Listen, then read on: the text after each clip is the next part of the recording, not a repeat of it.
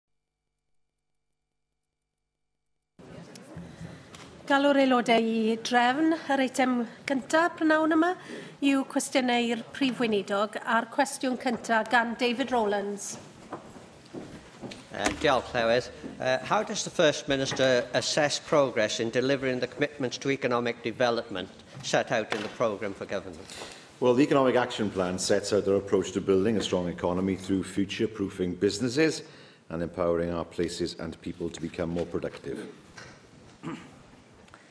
Uh, one of the recommendations in the Economy, Infrastructure and Skills Committee report on city deals and the regional economies of Wales stated there's a real danger that cre the creation of regional boards and the structures to support them add an additional level of bureaucracy to economic development in Wales.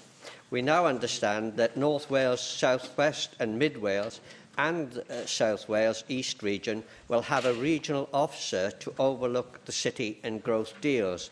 Could the First Minister give an indication as to how these appointments are progressing and also outline what he feels will be their full remit? I understand that uh, the three are in place now.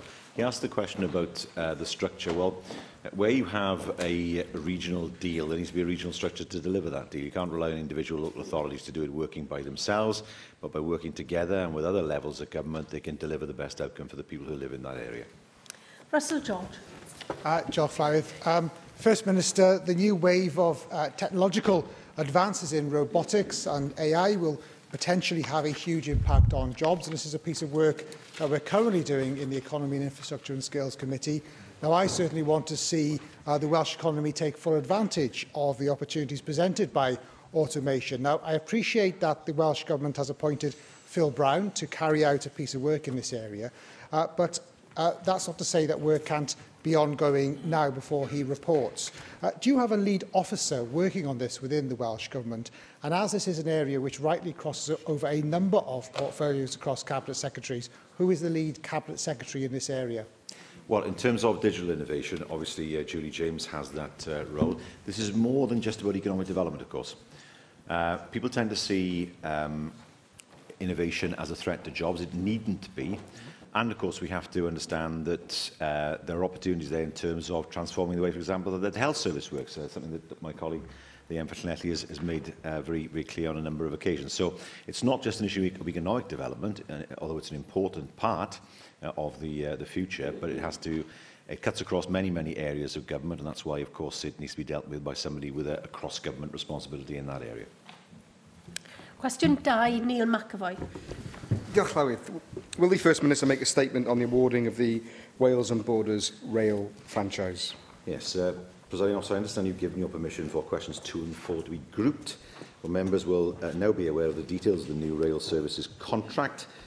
following the Cabinet Secretary for Economy and Transport's written statement on Monday. Okay, Diolch.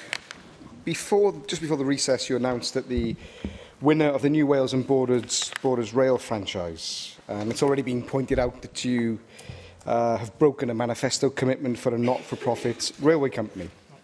But it also seems now that you're privatising the infrastructure from the core valley lines as well, and that's a real concern after what happened the last time that the Conservatives privatised the, the rail. In particular, we had the, the Hatfield disaster, which led to private companies running rail track being abandoned and the creation of Network Rail as a public body. So what I'd like to know is whether you, or not you've had permission from Network Rail to privatise this infrastructure.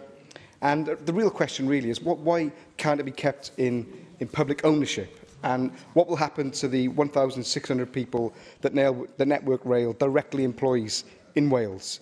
Will your Labour government be transferring these to the private multinational corporations? No, first of all, uh, it's pretty right to say that our first preference would have been to have had a not-for-profit public sector uh, organisation or body able to bid for the franchise that was expressly ruled out by the uh, legislation in, in, in Westminster, something which I didn't uh, welcome, uh, neither now nor at the time.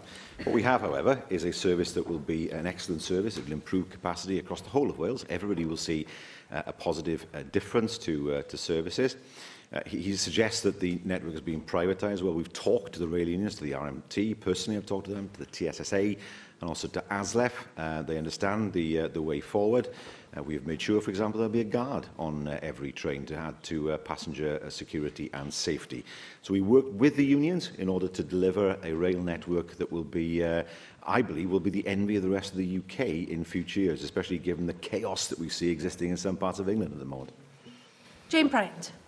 Erydd. This announcement is great news, particularly for many of us who have campaigned uh, for many years for the Ebervale to Cardiff line to stop in Newport. It's gathered a lot of local support, including from the South Wales Argus, who have long campaigned on this issue, and it's a huge boost and will link communities across the region. I welcome the announcement that £800 million will be invested in rolling stock and that the franchise have committed to commissioning 148 brand new trains for the next five years. Yesterday's announcement stated that over half the new trains will be built in Wales. Can you give any further detail about what discussions are taking place with CAF Rail in Newport? Well, the CAF investment is, is hugely significant, as the member has said. Uh, it is a hugely important capital investment. It will create 300 uh, highly skilled jobs in Newport as well. Uh, I can say that the ODP is expected to procure long-distance rolling stock fleet from CAF, That rolling stock will be assembled at the CAF facility in Newport. Of course, the contractual arrangements uh, will be a commercial matter between the ODP and CAF uh, itself.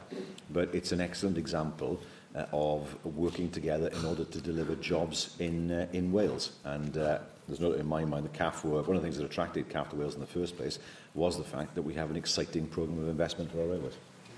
Mark Isherwood. Uh, Diolch, Clive. Well, yesterday's uh, statement by the uh, Economy and Transport Secretary said that we'll see a second limited stop express service every hour on the Wrexham Bidston line from 2021 and from 2022 see services stopping at Wrexham as part of a new two-hourly Liverpool to Cardiff service. How therefore do you respond to the statement made to me yesterday by rail user groups in North East Wales that the two trains allocated to the route could be running an earlier service into Wrexham at around 8.30 and operating a more frequent service over the line during the evenings and on Sunday – and that providing train crews can be sourced, this could be realised as early as December 2018 or the May 2019 timetable change? Yes, I mean, these are all part of the discussions on, uh, on timetabling. Uh, but the intention, as the members rightly said, is to improve the service on the, uh, the Wrexham-Bidston line and indeed to utilise the Halton curve. Further than that, of course, uh, to discuss with Merseyrail the possibility of using the Mersey Tunnel as well in order for trains to be able to uh, go straight into, uh, to Liverpool. Those discussions will take place um, uh, in order to allow that to happen. It's a long-held ambition for trains from Wrexham Central to go into uh, into Liverpool. Uh, but of course, uh, the Wrexham Visitor Service is amongst the one, of the, one, of the, one of the first uh, candidates for improvement that people will see. We want to see that line develop even further in the future.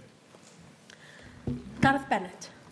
Oh, uh, diolch, Lewis. Um, one of the issues that um, was mentioned yesterday in, in press reports was that um, the payments made to the new franchisee will um, depend to some extent on their delivery of service, which sounds good. Now, the, the, some of the criteria that were um, mentioned included cleanliness, quality of service and punctuality. But one of the problems with the privatised rail services that we've had in the last 20 years is sometimes punctuality, um, the rules can sometimes be avoided by trains being cancelled instead. So I wondered if that, pro uh, if that um, issue had been looked at with the awarding of the contract. No, that can't happen. Uh, we're aware of what happened at uh, Northern Rail. Uh, we've ensured as part of the contract that uh, rail operators cannot get out of their obligations simply by running fewer or no uh, trains. And of course, as part of the announcement, um, there will be arrangements for uh, there will be simplified compensation arrangements for uh, passengers who uh, have to wait as well. So we want to make the service as uh, user-friendly as possible, uh, and it's exciting that the operator wants to do the same. They want to make sure uh, that they work with us in order to build a rail network for the future. It's you know, the, the days of 40-year-old trains uh, running on the valley lines particularly, those days are coming to an end, and I'm sure the people of the valleys will be delighted to see that. Jane Hutt. Minister, I welcome the announcements made as a result of the uh, Wales and Board of Rail franchise and South Wales Metro. I particularly welcome the commitment to include half-hourly services to the Vale of Glamorgan line from 2023. I've been campaigning for this for many years, and of course you recall the Welsh Government open, reopened the stations at Roos and Llantwit Major in 2005. Uh, does the First Minister, uh, do you agree with me that a half-hourly service which calls at Roos uh, station for Cardiff Airport will also improve access to the airport? Uh, yes, it will. And I can also say that Transport for Wales, with support from the ODP, will also be procuring a bus service as part of an integrated approach to improving connectivity across the Vale of Glamorgan, connecting Barry and the airport, and that will be available no later than the 1st of January 2024. Mark Reckless. Uh, I welcome the uh, new contract and uh, particularly the long overdue uh, new rolling stock for the valleys uh, lines, but also the reduction in fares from the upper valleys, which will help many people uh, give more, more opportunity to commute in and access jobs, particularly in, in Cardiff. Could I just ask the First Minister to say something about the risks that may come from the contract in terms of the, the, the different approach to risk sharing? And if we see um, passenger numbers and fares undershoot relative to expectations? What may be the implications for other uh, government services? We don't anticipate that at all. Uh, the last franchise was let on the basis that there will be no growth in passenger numbers. Uh, there was an enormous growth in passenger numbers, and we see now the overcrowding that takes place on so many uh, services, uh, not just on the valley lines, but across many services that run between, on Wales, on the Wales and the Borders franchise uh, network uh, we have built in to our, uh, uh, our um, uh, to, to the agreement the expectation that passenger numbers will rise, particularly but not exclusively passengers going through Cardiff Central, uh, and the uh, agreement is based on uh, seeing an increase in passenger numbers. I, I can't see the numbers decreasing. Uh, I can't see that people will want to travel less or, or not travel uh, into uh, work. We must be careful to make sure, of course, that there is sufficient capacity over the next uh, few years uh, that people feel that there is a, a comfortable and good value alternative to the car. Because what we can't do is keep on building roads into our cities uh, in the hope that that will resolve the issue of, uh, of, of traffic. It can't be done without demolishing houses. yn awr gan arweinwyr y pleidiau. Arweinydd grŵp yw Caroline Jones. Diolch, Llywydd. Uh, First Minister, the plans for the New Wales and Borders franchise are very promising and a clear demonstration of what can be achieved um, by a true public-private partnership. The investment that will be pumped into our rail network over the next decade um, could not be achieved um, by the public sector alone.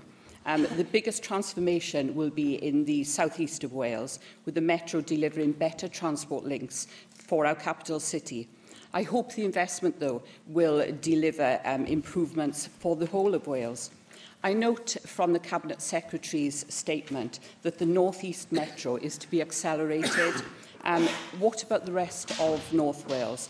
And will we see an end to situations that we saw when the cancellation of services between Llandudno Junction and uh, Blaenau Fest in York were apparent? Oh. Uh, well, the, the, there are structural issues on the Conway Valley line, uh, given the fact that it, it, it often floods. Uh, and we've seen that over the, uh, well, not often, it, it has sometimes flooded uh, over the past uh, few years, and that is something for Network Rail to deal with uh, in order to avoid that in the future. And she asked, what will the rest of Wales see? Better services on every uh, railway line in Wales, more frequent services from Llandudno as well, for example. We've already mentioned the Wrexham-Bidston line, a proper hourly service on the Central Wales line, uh, more services on the Cambrian coastline.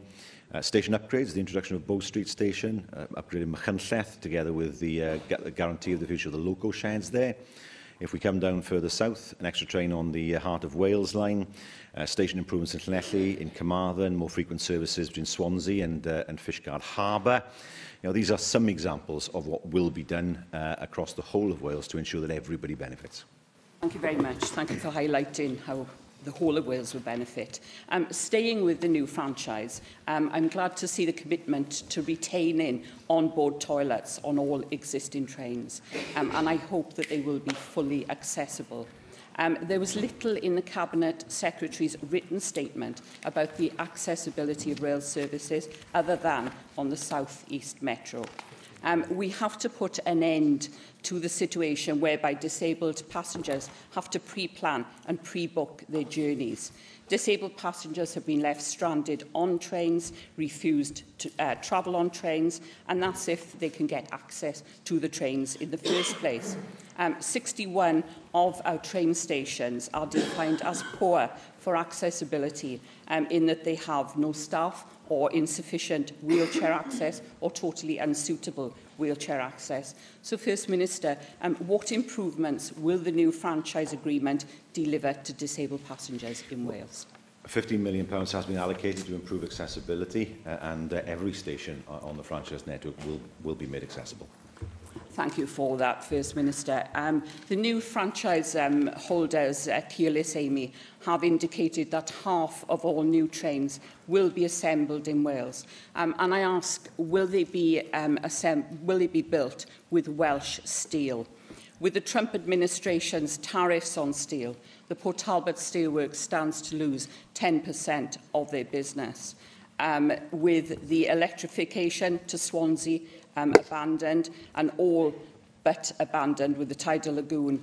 Um, if the steel sector is to get support um, in Wales, then it needs to come from Wales. So what discussions have you had um, with the franchisees about using Welsh materials in addition to a Welsh workforce in the construction of new rolling stock for the Welsh rail network?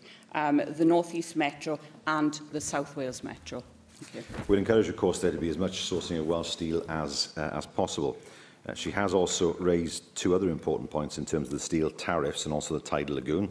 I can inform members that I have written uh, today to uh, Greg Clark uh, and suggested to him uh, that uh, the UK government should make an offer in terms of the contract for difference uh, to the tidal lagoon on the same terms as they made the offer to Hinkley. Uh, if, it's, if it's right for Hinckley, it's right for Swansea. Uh, and she's right to point out that electrification was promised and then uh, reneged on by the UK government. The tidal lagoon has been talked down by the Secretary of State this morning and by others.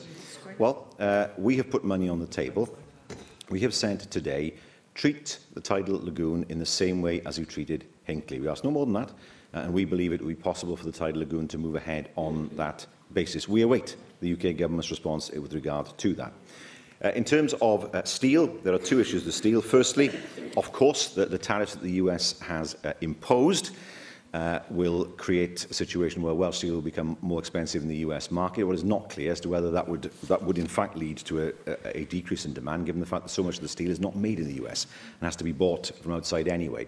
O of concern as well, we don't know what the effect of that will be, but of great concern as well, is where the steel that was originally bound from, for the US market will end up If it comes to Europe, it'll create a glut of steel in Europe. The price will drop, and that will not be a benefit to, um, to our steel producers. So I have said, I was in Washington and met with, with people there at the end of last week, but it's also important that the European Union now takes uh, prompt steps eh, within weeks, not within months, to ensure that sufficient safeguards are in place to ensure that the price of steel is supported in Europe. Rwynydd Plaid Cymru, Lian Wood.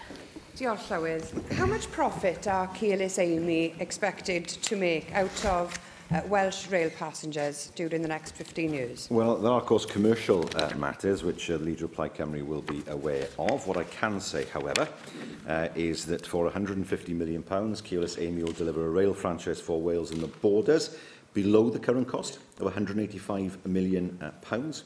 It's a total investment of £738 million pounds as well on phase two of the uh, metro.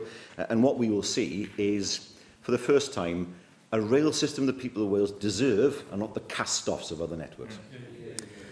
First Minister, there's been talk of this 3% uh, cap on profits, and uh, if that is true, that is no cap at all because according to the rail industry's own trade body, the Rail Delivery Group, the average operating profit for a rail company is 2.9%. So this means that your cap is higher than the average profit margin for train companies. Putting that uh, aside, the wheels and the Borders franchise doesn't commercially make a profit. So the only way that any rail company makes money is through government subsidies. That means, First Minister, that you are paying profits out of our budget to the pockets of private shareholders. Secondly, the idea that you won't pay a company if it doesn't meet its targets is hardly some kind of radical socialist policy because nobody pays for work that hasn't been done. It's as simple as that. Now, page 20 of the manifesto on which you were elected promised that you would deliver a not-for-profit rail operator. you have failed. You've done the exact opposite. So can you explain? If you believe that the only way to deliver a rail service that works for people in Wales is through a not-for-profit operator, why have you lumbered us with a second-rate private rail service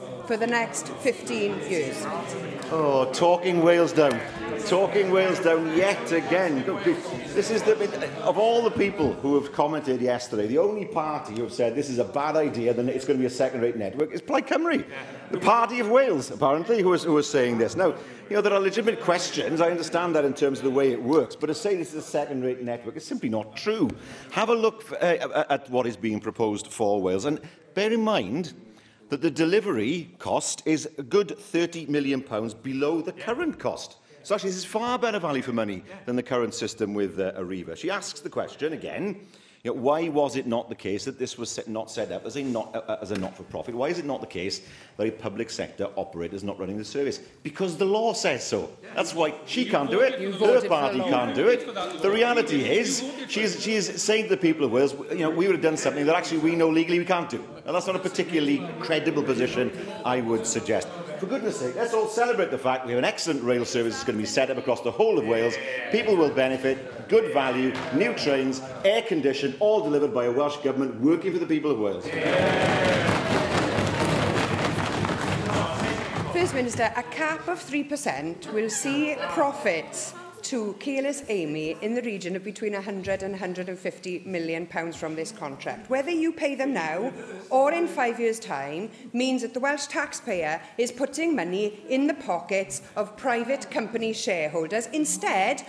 of reinvesting back in our own rail network. That's 150 million pounds that could have been spent on better trains, on more stations, on cheaper tickets. Now, the Scotland Act 2016 contained a clause that explicitly allowed for the Scottish Government to procure a public sector rail operator. One year later... I do, was... I do need to hear, and I'm sure the First Minister needs to hear the, lead, the leader of Plaid Cymru. So can, can we please allow Leanne Wood to continue, please? Please. Diolch, Llywydd.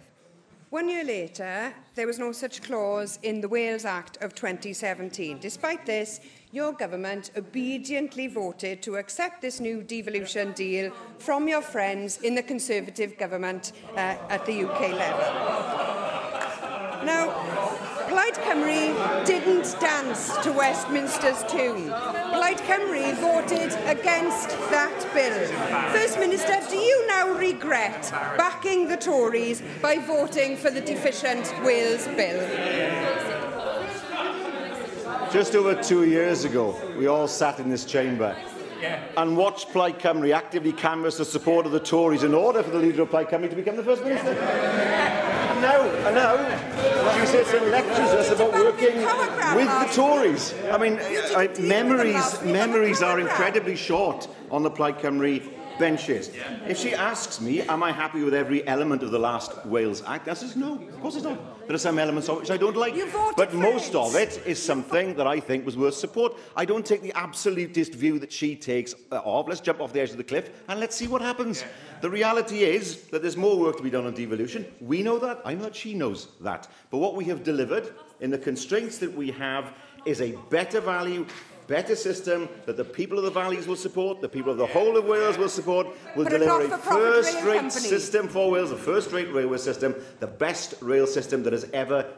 been produced for Wales, a system that will deliver the best trains, a system that will provide jobs for Newport, for uh, CAF, 300 jobs there, a system that will ensure that we meet our targets in terms of sustainability, in terms of job creation, in terms of economic growth, why on earth can't Plaid Cymru just for once support something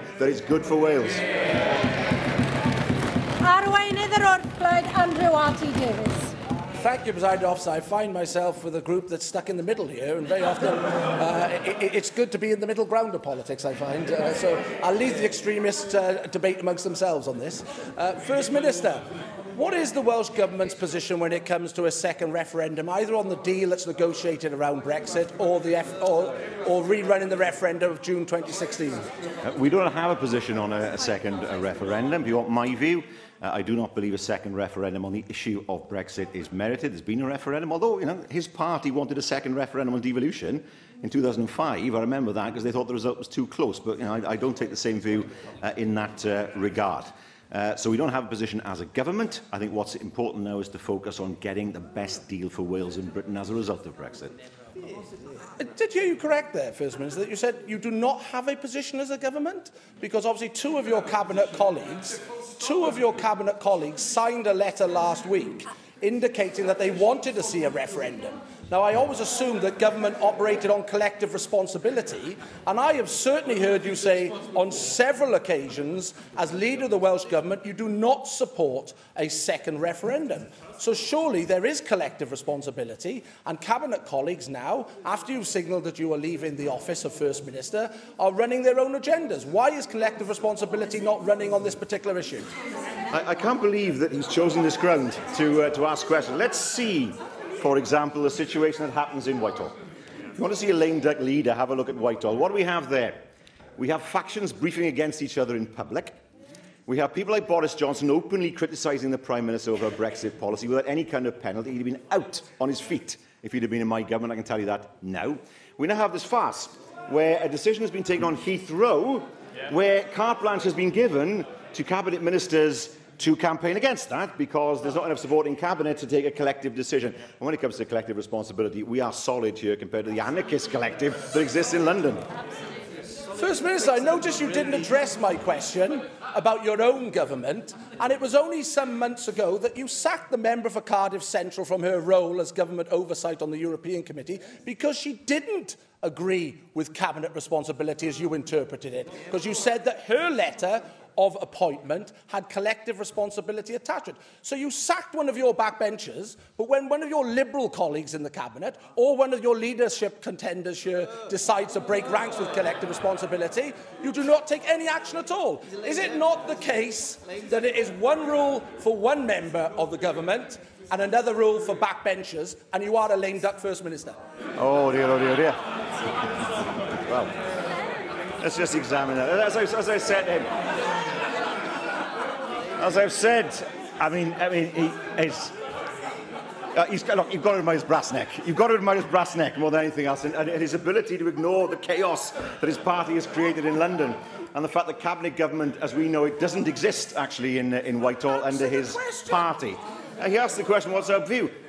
Our view has always been, and I've said this many, many times in the chamber, that any deal should be approved by the parliaments plural, of the UK. That's the situation. If that doesn't happen, well, it could well be there's another election. Have to, there would have to be another election.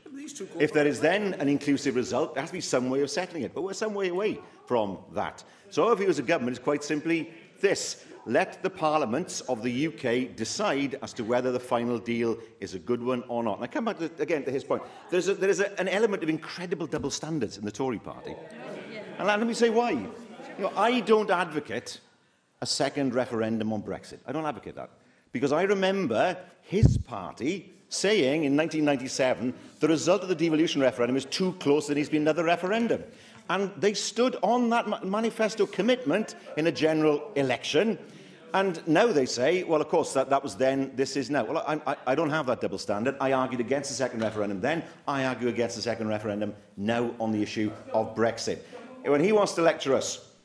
about our position, he needs to take a long, hard look at his own party and the mess which they're leaving the UK in, the complete lack of planning, the complete lack of unity, and the complete lack of a government. Question three, John Griffiths. What future strategy will the Welsh Government follow to improve community cohesion in South Wales? Well, there are four objectives uh, that we pursue. Firstly, building community cohesion at the national level. Secondly, cohesion supported at a regional level for isolated groups. Thirdly, integration of new arrivals. And fourthly, mitigating tensions and tackling hate crime. First Minister, policing is crucial to ensuring our communities are cohesive and enjoy good quality of life.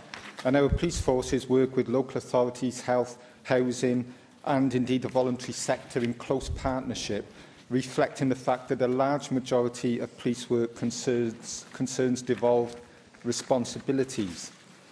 Given that, and the very strong case for devolving policing that follows from it, what work will Welsh Government do to ensure that relevant issues are foreseen and explored in terms of future devolution of policing? Sure. can I thank the member for his question? Uh, he is right to say that we have a long-standing position of supporting the devolution of uh, policing. And of course, the Commission uh, for, uh, on Justice will be looking at uh, further uh, issues. It is important, of course, devolution or not, that we work with the police. We do that, whether it's through the Civil Contingencies Forum, whether it's through uh, other groups such as uh, for example, uh, looking at victim support, because we're committed to protecting and supporting victims of hate crime. So we provided funding to Victim Support Cymru to operate the National Hate Crime Report and Support Centre. That funding will continue till at least uh, 2020. And there do continue to be positive signs that victims are coming forward and are more confident in reporting. Mohamed Ashkar. Presiding officer, First Minister, the third sector organizations play a vital role in strengthening and actively promoting community cohesion, as well as providing a link between public bodies and ethnic minorities communities. For them to succeed, they need, to need the support of the Welsh Government so will the First Minister outline how his strategy to improve community cohesion will utilise and support the third sector in Wales, please? Uh, well, it, one of the things that we're looking at is whether we should update the community cohesion plan before the summer of this year to take account of recent rises in hate crime uh, and the new challenges to community cohesion in uh, Wales. Uh, I can confirm uh, that uh, we plan to publish the community cohesion plan and the tackling hate crimes delivery plan So as those plans are taken forward, they will take account of uh, new evidence and fresh circumstances. Leanne Wood. There is definitely more that can be done on this front, First Minister. When you consider the latest figures from the Home Office show that hate crimes are up uh, by a fifth in Wales in just one year.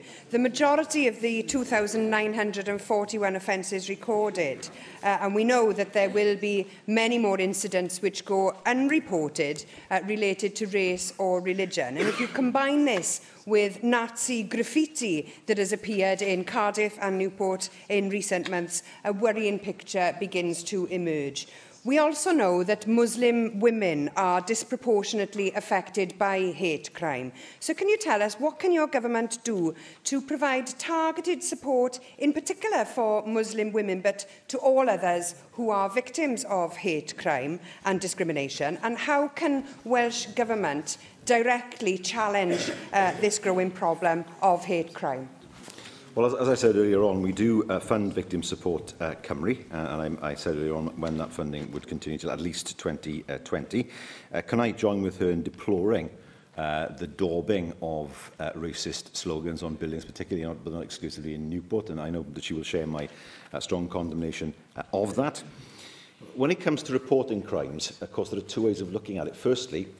uh, if there is an increase in reported crime, it may be that the actual level of crime has increased, but also uh, it may also be that people are more willing to come forward to report crime. It's always difficult to, to get underneath uh, statistics.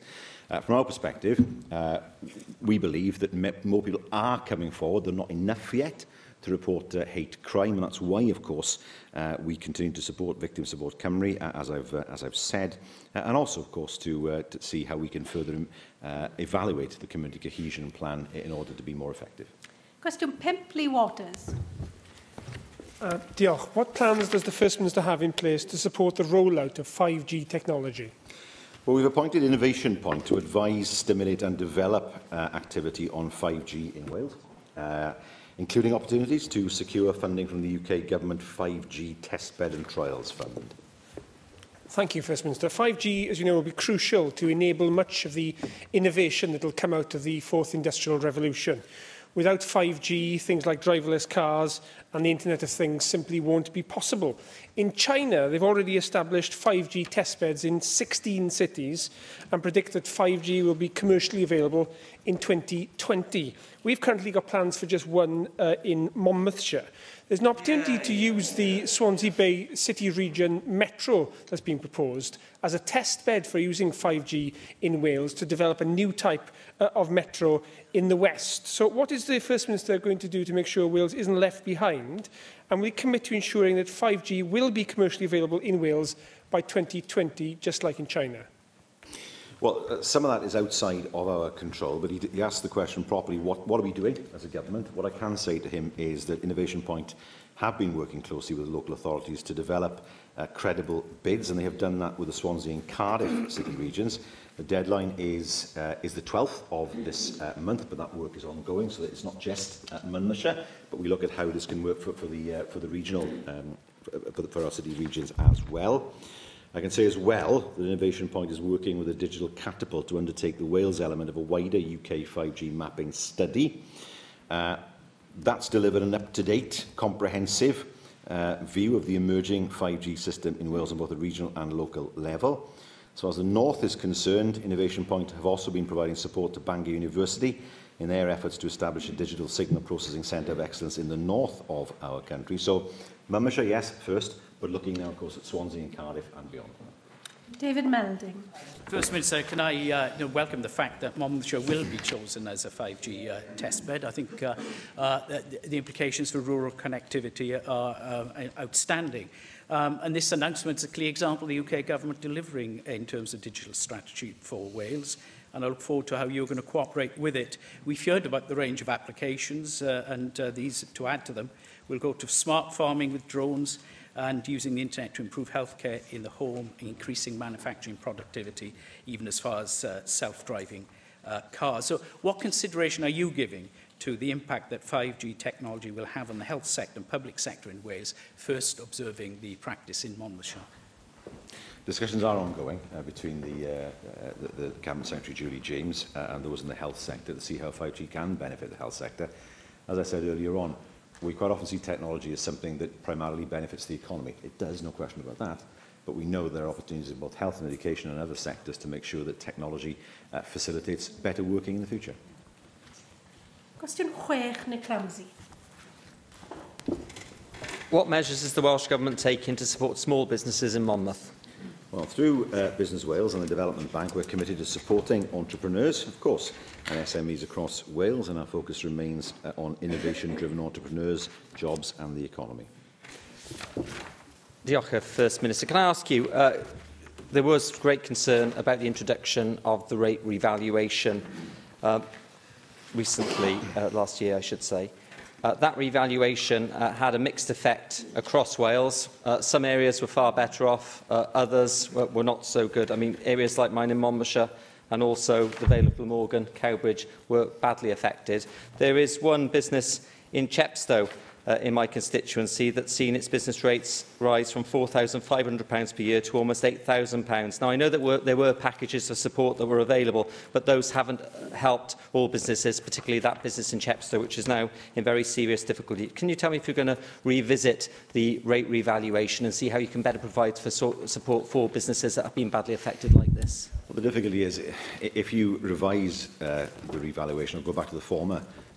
um, valuation, you end up with, with people having to pay more as a result of the fact they pay less now. There are always people who pay more, there are always people who pay less. We've known that through revaluations over the, uh, the years.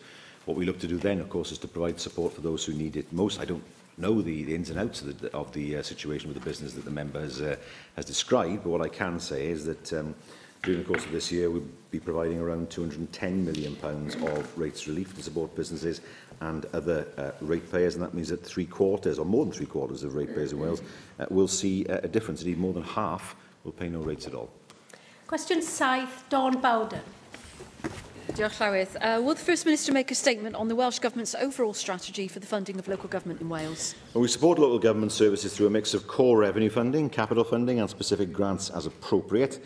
Our strategy continues to be to protect local government uh, from the impacts of austerity within the resources available to us as a government. Thank you, First Minister. And I think in these times of uh, Tory austerity, the approach that the Welsh Government has taken is to be welcomed. Um, I'm aware, of course, that for the current 2018-19 budget round, less of this money was hypothecated or ring-fenced, therefore giving greater um, uh, flexibility and discretion over local authority spending priorities. From my recent questions to the Education Secretary, you'll be aware that in Merthyr Tydfil County Borough Council, this means that school funding is being cut and breakfast clubs are under threat – which is actually contrary to the Council's own budget consultation, in which the public said that schools and education were their number one priority for the borough.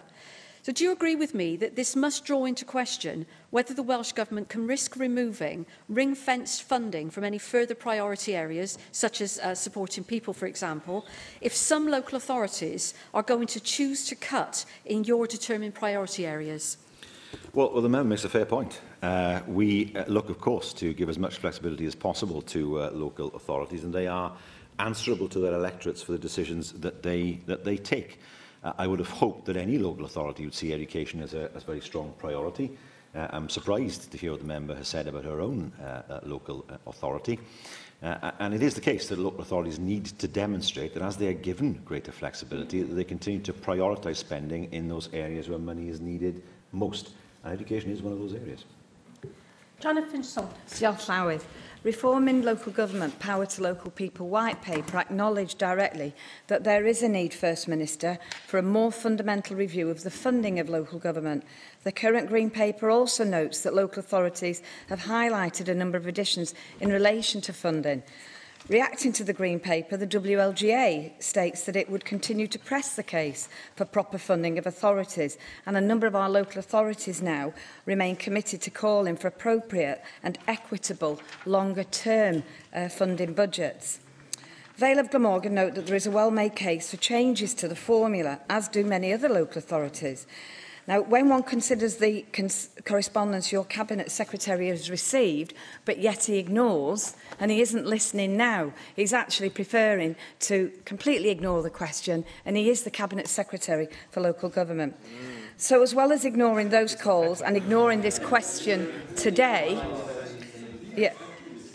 Will you liaise, will you liaise and talk to your Cabinet Secretary, please, to ensure that there is a more sustainable funding model and formula uh, to be established going forward? It's the very least that our local authorities deserve.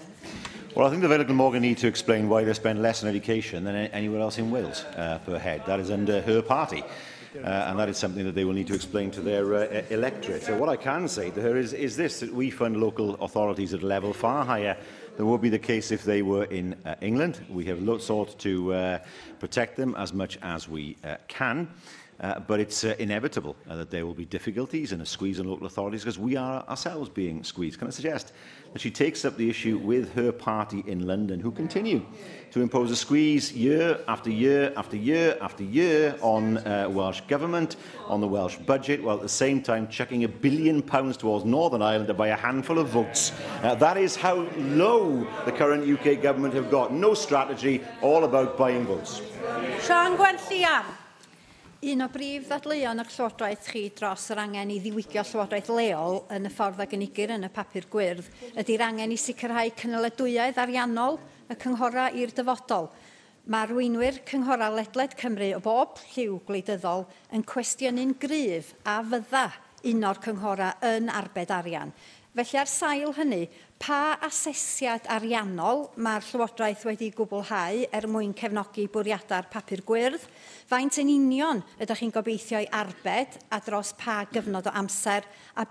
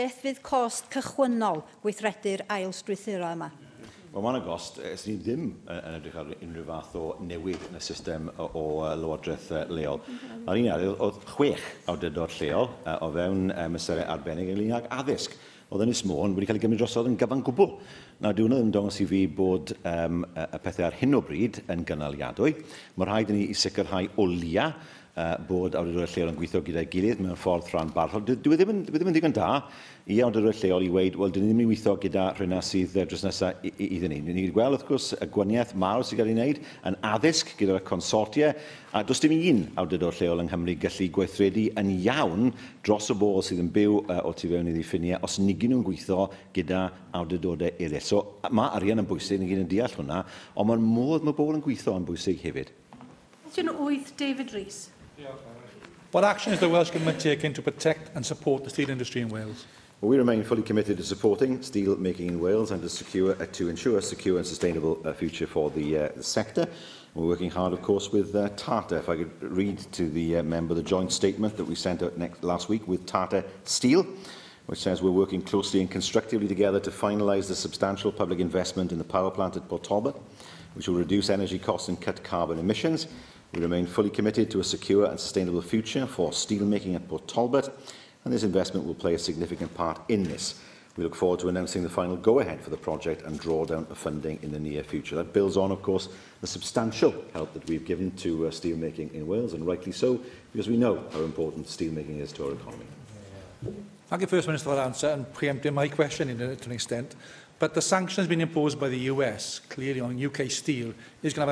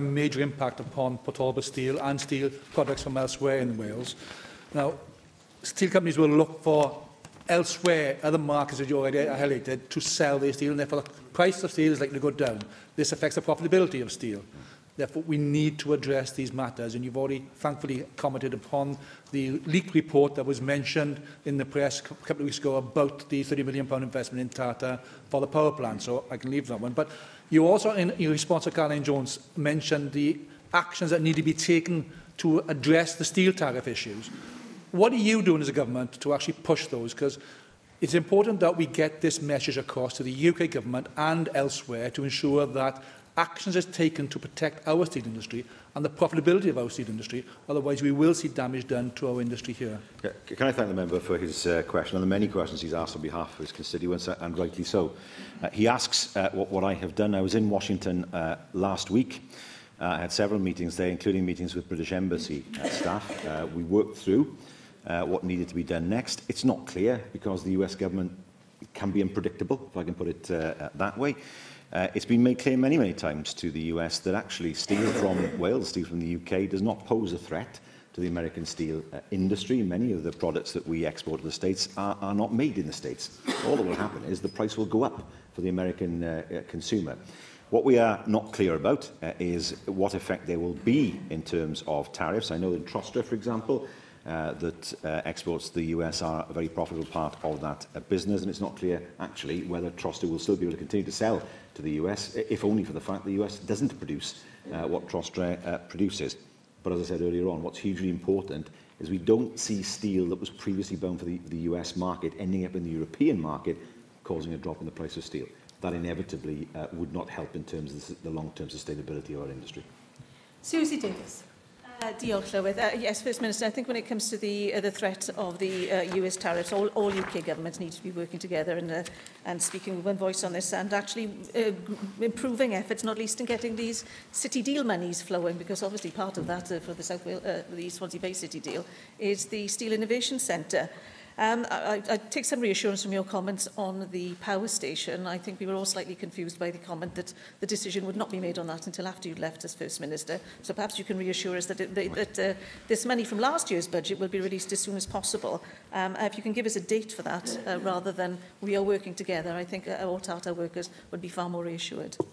Uh, nothing is on hold uh, while I am First Minister, as, as the member can well imagine. I'm very keen to uh, take decisions that help uh, the people of Wales uh, as quickly as possible. Uh, and uh, that is something that we intend to do uh, once we're in a position to do so with regard to Talbot. We ask the judges what we've already done, the money that we, we've committed, the, the close working